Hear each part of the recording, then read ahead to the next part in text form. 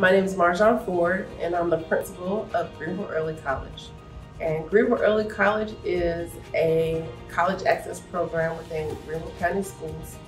We are set up to target students who will be the first in their family to graduate from high school or go to college. And we work with them to support them academically so that they can access college while still in high school. Um, currently, we are really small, and that's by intentionality. Our goal is to create a really small but inclusive and supportive environment so that kids take great steps in terms of developing their courage and um, skills to be able to advocate for themselves and to really take on the challenge of doing something that maybe nobody else has done in their lives. In general, we have lots of extra staff. We probably have a really small student teacher ratio and we don't break our ratios like 1 to 15. And that is on purpose so that people can dig down deep into um, uh, getting to know a student and knowing all of their ins and outs. Additionally, we have support from On Track, um, On Track Greenville, which is brought to us by the United Way.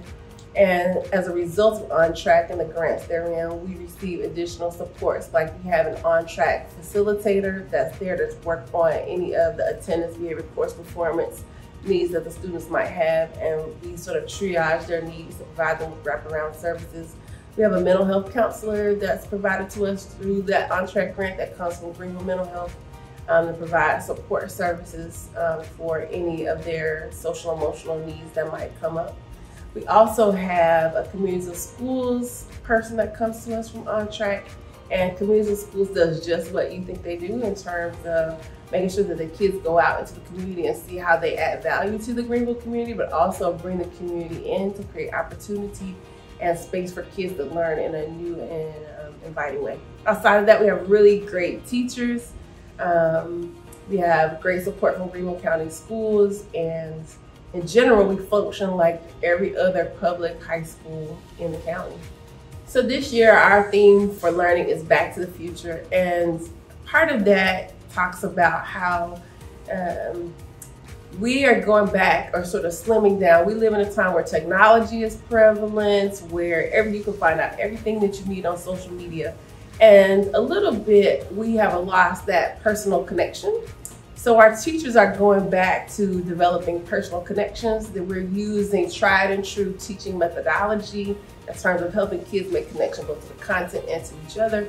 Um, I remember getting like this warm fuzzy feeling when I was in school and I knew which teachers cared about me. And so that really is is for those people that I performed. Um, and so part of our back to school our back to the future initiative is centered around that, making sure that kids have good viable relationships with the people that are providing them with instruction, that they feel like someone believes in them, pushes them. Teachers feel like that they can really, really teach students and that you don't have to have all of the bells and whistles operating all at the same time. That it's more important for the kids to have an intimate relationship with the content than it is for them to be able to do a TikTok video to explain that they know a math concept. And so we're trying to find a nice balance between good instructional strategies and using technology to elevate their learning. Also, um, just like in the movie Back to the Future, we're trying to remember that we don't want to correct or try to go back and change anything that's happened before. We are using that to elevate our platform. We needed we needed all of those things to occur in order for us to continue to dream big and to take on the challenges that present themselves. We are actively trying to prepare kids for a future that we don't even know about and it's important that they feel like they um, can communicate with others, that they can collaborate, we want our kids to have a civic-minded approach to, to the world and to think about others as they engage. For sure, just because we're part of Greenville County Schools, the G Plus initiative is important, so we're expecting for kids to walk out of our building with some type of national or state certification. And of course, because we're in early college, they're gonna have um, college credit. And so that really is what it means to be back to the future is to not forget the things that have worked and that are working to keep us connected to each other and to learning, but also to prepare for a world that we've never even encountered before.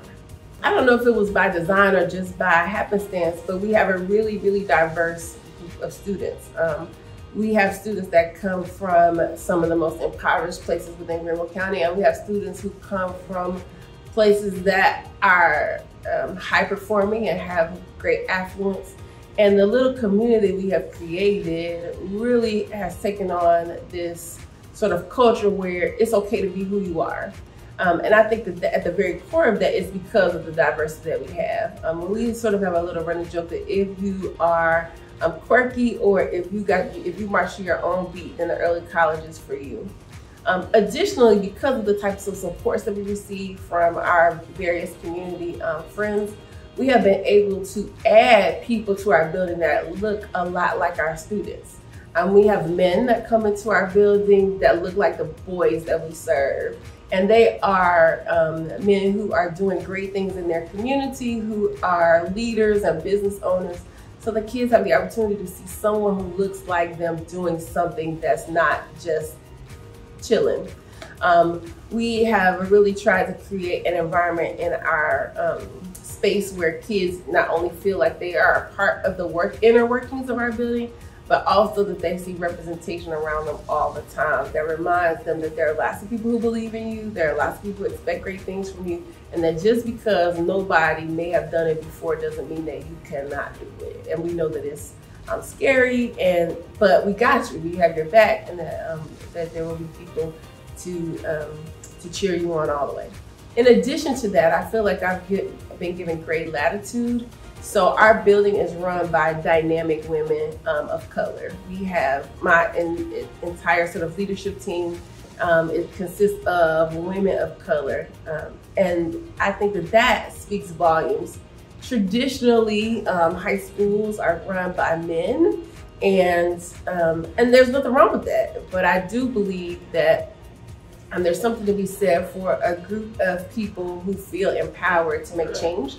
And so I love the fact that my students get to see a Hispanic woman in our office controlling the, um, the activities of the day. Our head guidance counselor is a woman um, of color. Our head custodian is a woman of color. So all the people who make decisions and make power moves are, are strong women. And even though we have varying jobs and varying responsibilities, I want my kids to be able to see that they could see themselves in any type of position of leadership. One of our first kids to go to school last year, she went early and was going on her own. So she was going to Greenville Tech sort of by herself. And she encountered a couple of issues on the campus. Super shy, very unassuming, quiet, but she encountered an issue with her bill. Now, her bill is covered. We um, try to create that, remove that obstacle for students. So there shouldn't have been an issue in first place. And it just was a miscommunication. But she felt like she should advocate for herself, and she tried.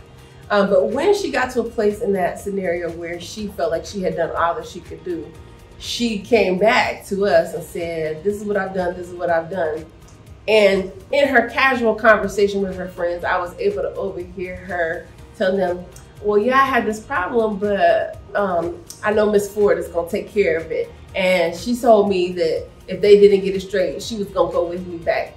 And so just the fact that she wasn't willing to quit, she felt like, I'm gonna tell Miss Ford or I'm gonna tell someone in this building and they're gonna help me resolve my issue. I think that the power of what we do at the early college um, means that kids are in a space where they feel comfortable where they feel empowered, where they feel like their voice is heard, and um, that they can add value to themselves and others.